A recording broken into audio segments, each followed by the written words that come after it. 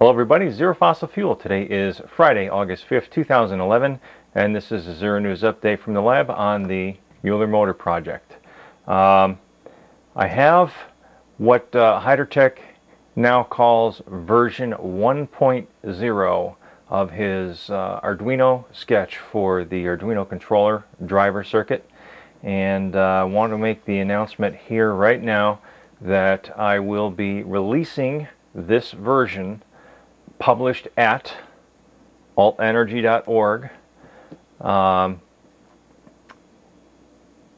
under the GNU General Public License.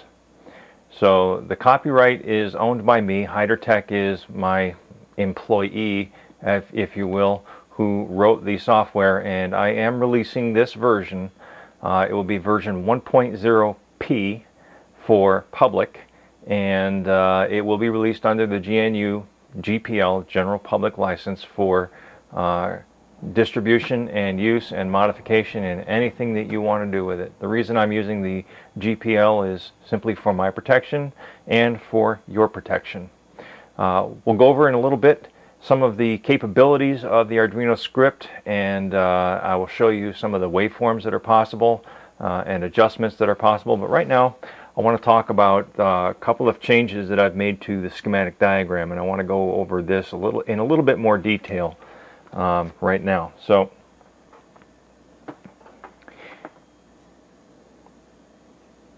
if we take a take a closer look at the schematic diagram you'll notice that I've now added Q5, R8, and R9. So I'm now calling this revision 1.1. If you look in the on the left-hand side of the schematic diagram, you'll in the area of Q1 and Q5, you'll see that there are two inputs now, one labeled minus and one labeled plus.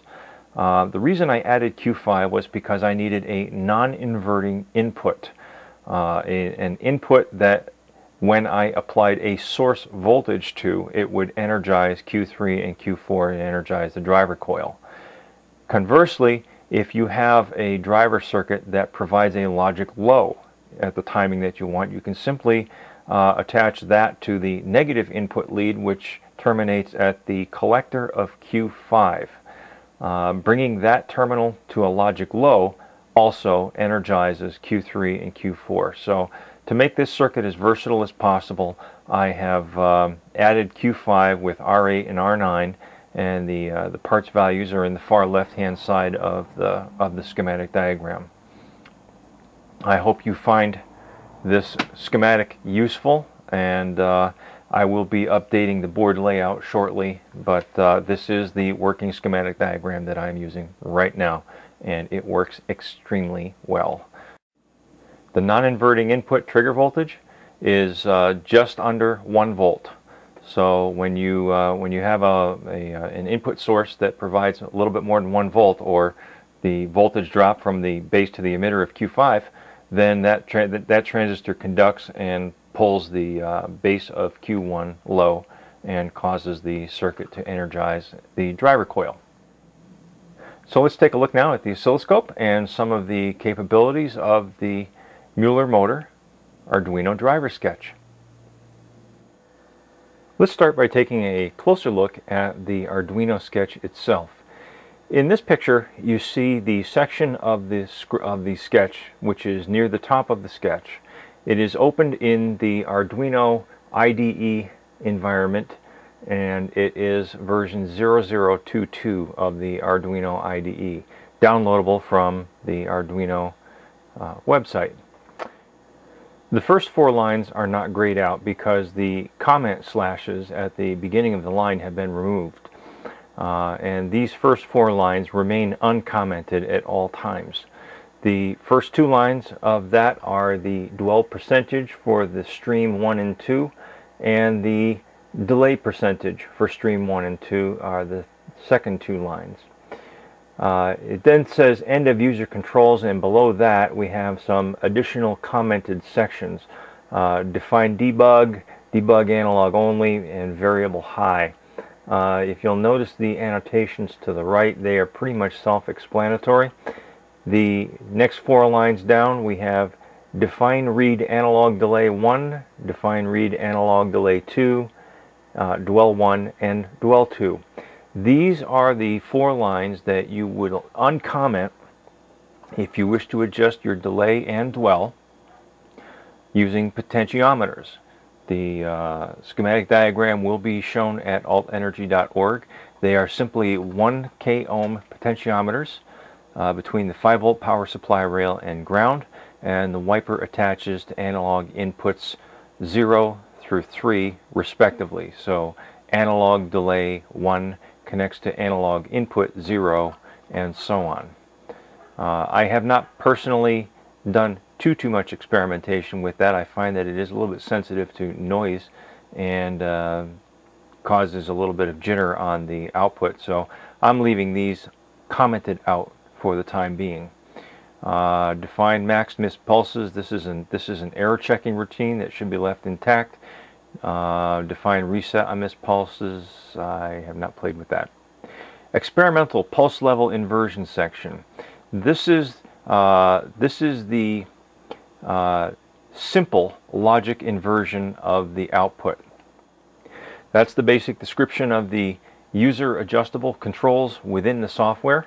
Uh, I am actually able to have the motor running, make changes to the, the various parameters in the sketch, upload it to the Arduino while the motor is running, the, uh, the, the Arduino will, will, perform a reset and pick up again with the new parameters. So it's almost not even necessary to have the potentiometers because essentially I can still make adjustments on the fly. There's just a brief delay period while the Arduino is rebooting, which is only a couple of seconds. So let's look at the scope. Uh, the default settings of 50% dwell and zero delay on the signal pretty much uh, mirror what I was doing with the uh, with the Hall effect pickup devices without the Arduino. So what you're going to see on the scope first is a uh, imitation through the Arduino of what I had without the Arduino. I'm going to turn my power supply on.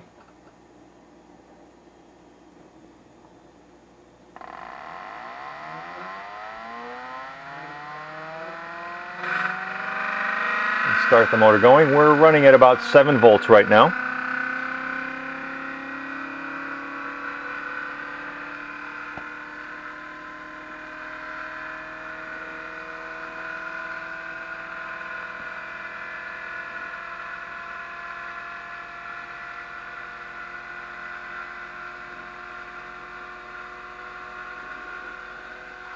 And you can see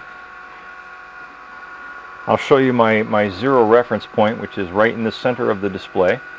You can see how my, my trigger, trigger point is just as it crosses zero and gives me a pulse to the driver coil to about this point right here and then the remainder of the waveform is the uh, actual voltage being generated by the driver coil while it is not being energized. This is the benefit of having the floating driver circuit or the active driver circuit output for the driver board.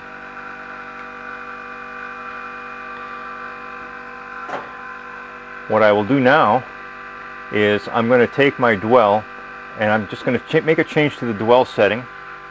Uh, this was 50%. I'm going to change the dwell to 30%. I'll upload to the Arduino. I'm getting a message that it's uploading to the Arduino board. You see that the driver trigger stops.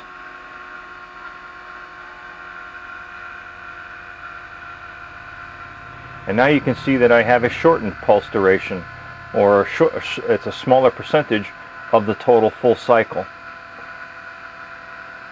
And I'm also monitoring the uh, amount of current that's being drawn and how efficiently the motor is running each time that I make a change like this. Now without making any changes to the dwell, I'm going to change the delay. So my, my driver duration will be still 30% and I will shift it further down the waveform closer to the peak. So I'll bring my dwell to 20%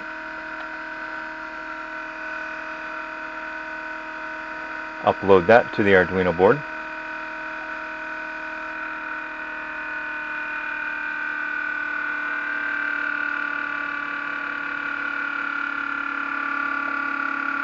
Now you can see I've shifted the pulse so that it ends where it ended before. It starts much later in the in the uh, in the waveform after it crosses zero.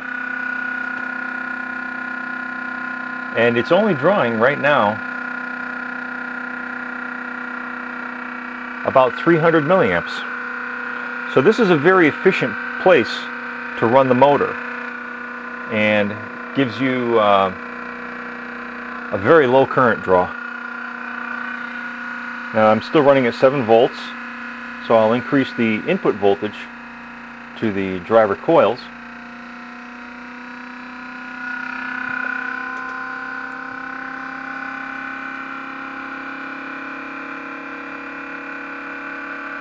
and there's what happens when I do that. Okay, next I'm going to show you what happens when you just do a simple inversion on the uh, experimental pulse level inversion section. I've commented out, or I've removed the comments from the invert output 1 and invert output 2. I will upload that to the board. And now you're going to see it brake heavily and perhaps even start in the other direction.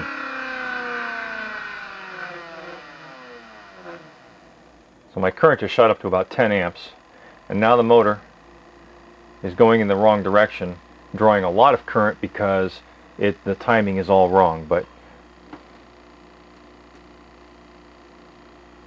so I'm going to just shut the power supply off at that point because I don't want to uh, overheat my my MOSFETs uh, and uh, start at square one again.